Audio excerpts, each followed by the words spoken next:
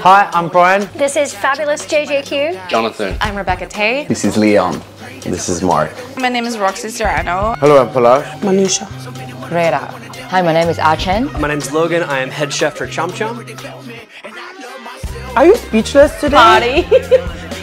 Constant party. Constant party. It's like block party 24-7. Chom Chom's reopening means bringing fresh energy back into the heart of Soho. Where people meet for the first time but become friends forever. It's like a rebirth of a place. Chom Chom is my baby. Believe it or not, my only experience in Vietnamese food and culture comes from Chom Chom. I think first means uh, we're gonna go on a date. Yeah.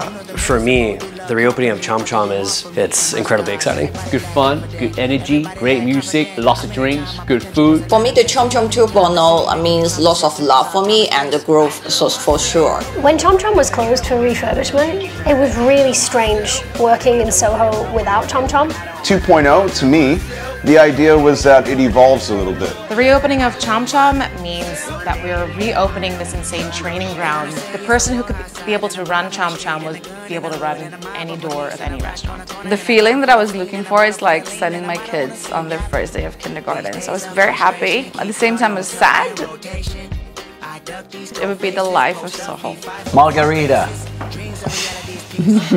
For all. Wild. Uh, I would say crazy. Organized chaos. Home. Family. Memories. Why are you laughing? Vibey. Definitely fire. True. Desire. yeah. Party. Institution. Neighborhood. Vibrant. Loud and proud. Shots. Yeah. Yeah, but everyone will say shots, no? Chom Chom is community. It's Soho.